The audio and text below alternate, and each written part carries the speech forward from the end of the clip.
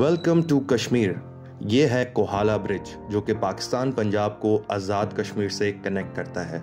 This iconic Kohala bridge is also known as the gateway to Azad Kashmir. आज का हमारा सफ़र और vlog भी इसी जगह से रिलेटेड है और मैं बेहद मशहूर हूँ आज़ाद जम्मू कश्मीर टूरिस्ट पुलिस का, जिनकी बदौलत हमने इस रास्ते में कायद आज़म रेजिडेंसी को भी एक्सप्लोर किया। तो आए, आज हमारे साथ मुजफ्फराबाद तक के रास्ते को एक्सप्लोर करेंगे।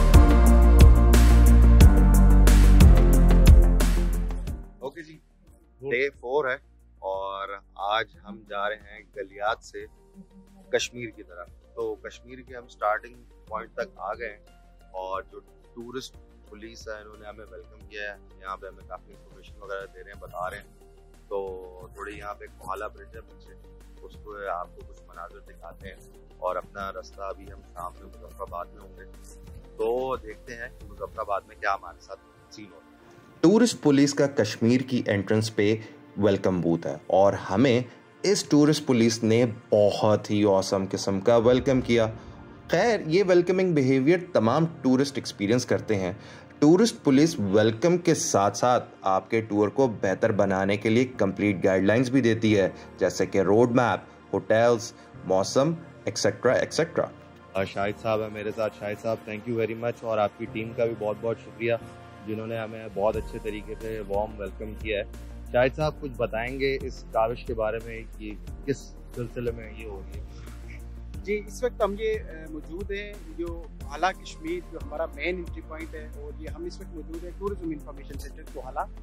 यहाँ पे हमारे टूरिज़्म डिपार्टमेंट्स के ऑफिशियल मौजूद होते हैं टूरिस्ट पुलिस के ऑफिशियल मौजूद होते हैं, और कश्मीर आने वाले जितने भी सियाह होते हैं, जो हमारे पास रुकते हैं, हम उनको यहाँ पे गाइड मैप देते हैं। उनको कश्मीर के सियाती मकाम के हवाले से आगाही देते हैं और हमारा जो एजे के टूरिस्ट की जो हेल्पलाइन है वन फोर डबल टू उसके मतलब हम आगाही देते हैं और कश्मीर के टोटली जितने भी सियाह आते हैं, उनके मैकेनिज्म के लिए कश्मीर में टूरिस्ट पुलिस है और टूरिज़्म डिपार्टमेंट के ऑफिशियल हर जगह पर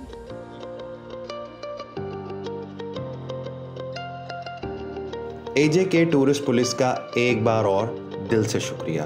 हमारे कंटेंट को चार चाँद लगाने के लिए बाजाते खुद हमारे साथी चल दिए और नज़दीक एक वुडन सस्पेंशन ब्रिज का टूर करवाया मुलायजा फरमाइए।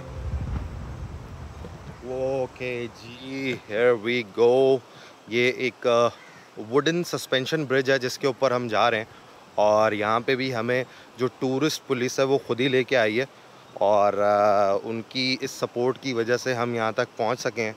आगे भी वो हमें एक जगह लेके जा रहे हैं।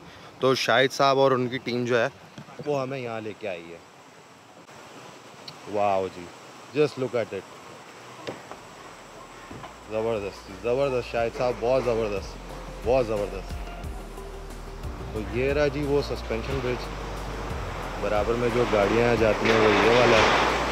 और ये पूरा सस्पेंशन ब्रिज जो है ना, ये पूरा हिलता है पूरा, और हिल रहा है थोड़ा थोड़ा ये जो ब्रिज है ना, ये कोहाला कश्मीर साइड का ये सबसे ओल्डेस्ट ब्रिज है ये।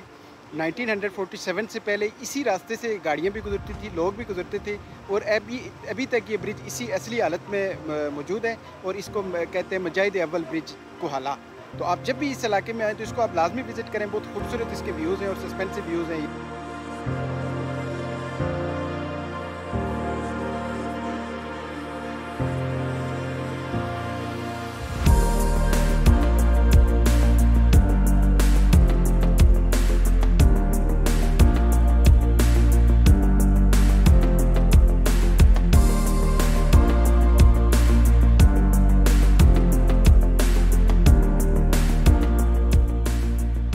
मुजफ्फराबाद जाने से पहले रास्ते में दो तीन चीज़ें थी। एक तो कायद अजम मेमोरियल रेस्ट हाउस है और वो नीचे ही है। ये भी कोई तकरीबन सत्तर, पचहत्तर साल या उससे शायद ज़्यादा पुराना है। तो वो एक्सप्लोर करते हैं, वो दिखाते हैं आपको।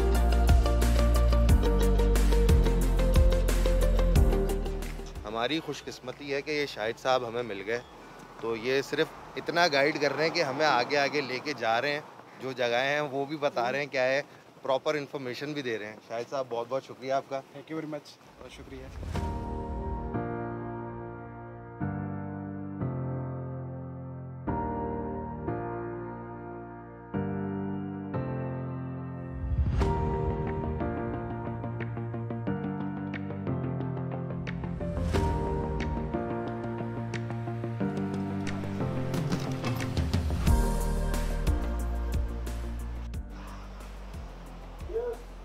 ये कायद ये चेयर है इसमें वो यहाँ पे बैठे थे, ये उनके पीछे पिक्चर लगी हुई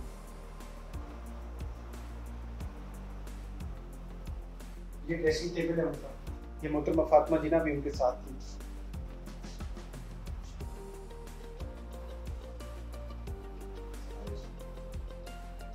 यहाँ पे ये उनको बैठे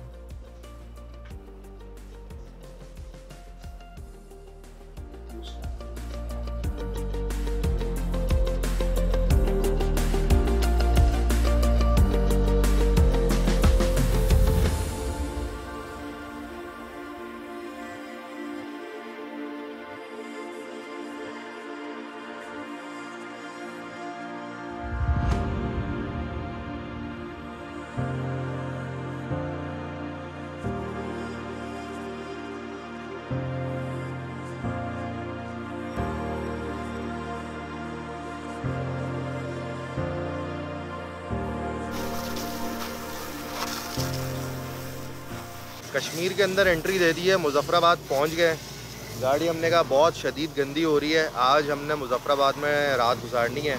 होपफुली हो सकता है प्लान चेंज भी हो जाए।